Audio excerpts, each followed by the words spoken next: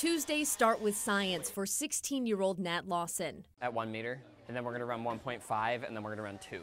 At school, it's physics, calculating distance, velocity, and work, which is fitting because at home, Lawson works as much as he can, learning as quickly as he can.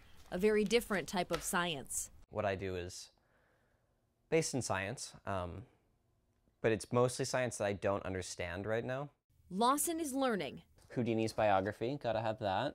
to read your mind. A pin code is four digits. Generally, yours is four digits. Um, think of think of the first digit for me. That's a two. Yeah.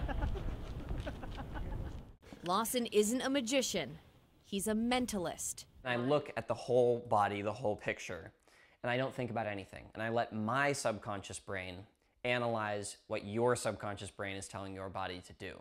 That's one of many ways Lawson pulls off his effects. He's created an entire show called Perceptions that he performs for crowds throughout New England, and a new web series performing on the street. Unlocking people's phones and guessing their PIN to withdraw money from an ATM.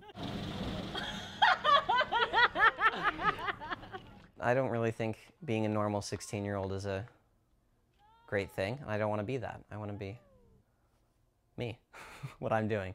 Stop. Right there. Mm-hmm. Look at that card. Look at me. And imagine black on this side and red on this side. Black mm-hmm. card. Lawson works every day perfecting his craft. The jack of clubs. Yes. Yeah. He only needs a few props I'm very excited about office supplies. because Lawson's mind is his main tool. I've always had a one track mind. I, if I am going to do something, I do it. He started with magic at eight years old and transitioned to mentalism at 13. More of my notes. Becoming a mentalist includes studying his notes on hypnotism, body language, and mental athletics, memorizing number patterns and charts Two days.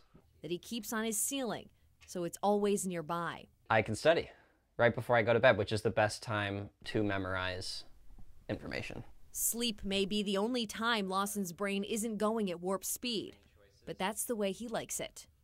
Focus on it again, like it was right in front of you. Because when his guesswork pays off, You show. he never has to guess what his audience is thinking. What the? In Rockport, nice. Jana Barnello, CBS 13 News.